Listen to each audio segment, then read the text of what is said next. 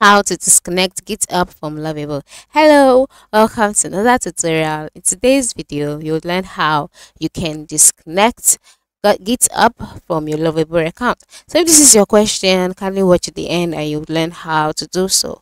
First of all logging into your lovable account just like i have done here. And then once you're logged in successfully scroll down to the page where you can see the projects containing your GitHub account, the connected GitHub account.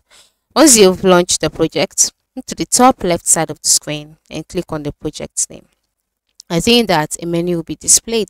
In this menu, you'll see options like go to dashboard, get free credits, settings, rename projects, appearance, help. So click settings. You'll be brought to the project settings page automatically. The next step is move to the left side of the screen. Alright, the same method you use while connecting your GitHub will be the same method to disconnect. Okay, so scroll down until you can see the integration tab. Then select GitHub.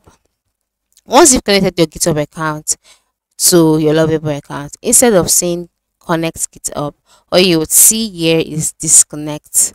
Alright, disconnect GitHub. So select that, follow through the procedures, and then your github account would be disconnected. Okay? Once you click disconnect you'll be asked if you're sure that you would like to you would like to disconnect github. Click confirm and your github account will be disconnected from lovable.